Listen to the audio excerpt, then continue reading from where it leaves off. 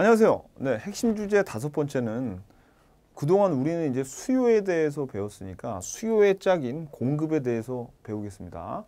자, 어, 여기서 5장에서 배울 가장 중요한 거는 공급의 변화 요인을 알아야 돼요.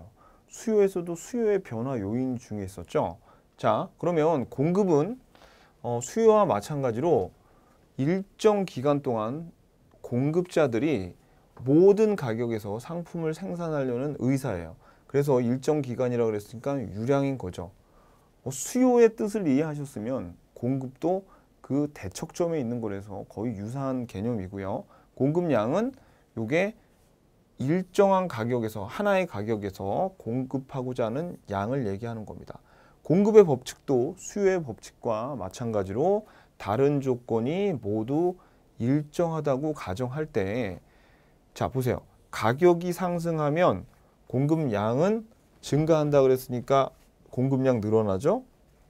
가격이 하락한다고 했을 때 공급량이 감소한다고 했으니까 공급에서는 수요와 반대로 가격과 공급량이 서로 정의 관계를 가지고 있네요.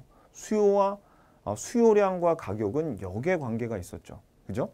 자, 요거 요런 차이가 있다. 근데 유사합니다. 유사해요. 자, 그러면 보세요. 공급이란 것이 처음에 50원이었을 때는 다섯 개를 판매하려고 하고 가격이 100원으로 오르면 공급자들이 어 다섯 개에서 열개를 팔려고 그랬죠. 그러니까 A점에서 B점으로 이렇게 두 점을 찍고 그 다음에 어떻게 해요? 공급 곡선은 요두 점을 잇는 곡선이 되겠네요. S는 공급 곡선, supply의 약자입니다. 공급이란 뜻이죠, supply가. 그래서 요거를 공급 곡선을 우리가 오른쪽으로 갈수록 이렇게 상, 상향하잖아요. 그래서 우상향한다라고 합니다. 그러면 수요 곡선 이렇게 내려가는 demand, 수요 곡선은 뭐라 그러겠어요?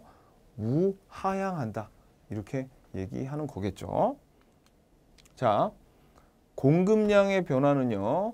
자, 가격의 변화로 공급량, 자, 자, 뭐 가격이 변화되죠? 공급량이죠, 그죠? 공급 곡선 상의 한 점에서 한 점으로 이동. 공급 곡선 상에서 이동. 이것도 수요량의 변화랑 똑같아, 그죠? 공급의 변화는 뭐겠어요? 가격 이외의 가격 이외의 변수잖아요, 그죠? 얘네들이 변해서 모든 가격에서 공급이 변하는 것은 곡선 자체, 공급 곡선 자체가 이동한다. 수요와 똑같습니다. 아셨죠? 그러니까 여기까지는 수요를 이해하시면 그냥 어, 프리패스하는 그런 내용이에요. 어, 여기까지는. 자, 근데 이제 요게 중요하죠. 이 공급의 변화 요인은 뭐냐면 즉 가격, 그죠? 가격 이외의 다른 것들을 얘기하는데 여러분들이 보세요. 뭐, 이 공급은 되게 쉬운데 어떻게 생각하면 되냐면 만약에 생산하는 비용을 있잖아요. 생산하는 비용을 증가시키면은 요거는 공급을 감소시킵니다. 근데 비용이 만약에 하락하잖아요. 그러면 공급이 증가하는 어, 그런 방향으로 움직여요. 그래서 비용이 증가하면은 공급 곡선이 어떻게 되냐면 왼쪽으로 이동하고요. 어, 비용이 하락하면은 공급 곡선이 이렇게 오른쪽으로 이동하게 됩니다. 보세요. 일단 생산 요소 가격, 생산 요소라는 게 뭐냐면 생산물을 만들 때 들어가는 노동, 그러니까 노동에 들어가는 비용은 임금이겠죠. 그죠? 그 다음에 자본, 자본은 이자, 뭐 그런 그리고 생, 생산 재료들, 재료비 같은 게 올라가면은 그러면 비용을 증가하는 거니까 공급이 어떻게 돼요? 그렇죠. 공급이 감소해서 공급 곡선은 좌측으로 이동하게 됩니다.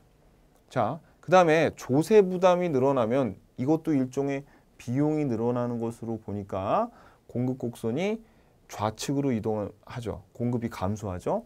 근데 보조금을 받으면 비용이 감소되는 셈이니까 어, 공급 곡선은 우측으로 이동하게 됩니다. 자, 보세요. 조세 부담이 커지면 공급 곡선은 좌측, 정부 보조금이 지급되면 생산비가 감소하니까 우측으로 이동.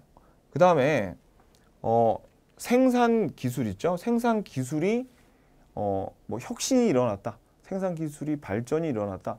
그러면 어, 그동안 열 사람이 투입됐던 거를 다섯 사람만 투입돼서 만들 수 있으니까 비용이 감소하겠죠. 그러니까 이것도 어, 비용 감소 효과가 있어서 공급 곡선은 우측으로 이동합니다. 그런데 가장 중요한 거는 1번에 있던 요 어, 생산 요소 가격이에요. 시험 문제에서 뭐 생산 요소 가격이 오른다 이런 문제보다 가장 지문에 많이 나 등장하는 건 뭐냐면 요 원유 가격 있죠?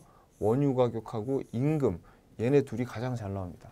왜냐면 우리나라는 어, 원유를 100% 수출해서 아, 수입해서 쓰다 보니까 원유 가격이 오르면 모든 비용이 다 올라가요. 그래서 시험 문제 잘 나오는 건 원유 가격, 임금, 그 밖에 이자, 임대료 드- 등도 이것도 생산 요소 가격이라고 여러분들이 알아두셔야 됩니다. 아셨죠? 자, 여기까지 이제 우리가 공급에 대해서 바- 배웠잖아요. 그러면 우리가 이전에 수요 곡선 배웠고 지금 공급 곡선 배웠으니까 얘네들을 만나게 해야 되잖아요.